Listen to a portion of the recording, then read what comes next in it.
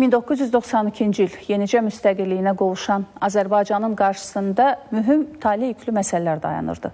Yaranan həcməclik şəxsi mənafeləri üstün tutma halı cəbhə bölgəsinin nəzarətdən kənar qalmasına strateji baxımdan önəmli rayonların itirilməsinə gətirib çıxardı. 1992-ci ildə itirilən rayonlardan biri Laçın idi. İllər keçdi və Azərbaycan öz gücü həm hərbi, həm də siyasi qüdrəti hesabına Laçını geri qaytarmağı bacardı.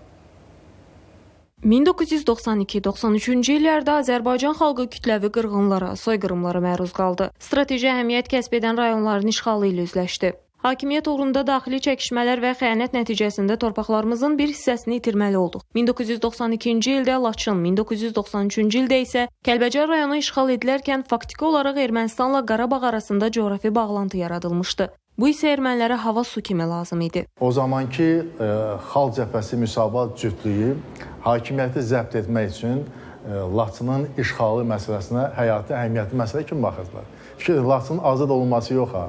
Laçın işğalı məsələsinə. Çünki hesab edirdilər ki, Laçın nə qədər tez işğala məruz qalsa, ölkədə siyasi xaos yaranacaq.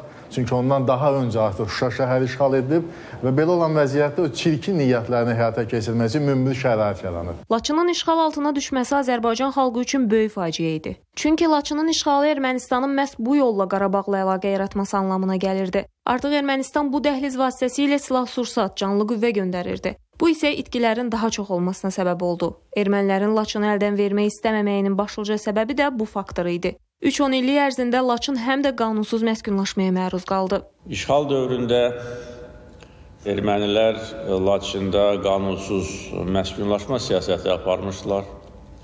Həm Laçın şəhərində, həm bir neçə kətdə, ə, xaricdə ə, yaşamış ermənilər ora gətirilmiş və ə, orada yerləşdirilmişdir. Bu bütün beynəlxalq konvensiyalara görə hərbi cinayət sayılır.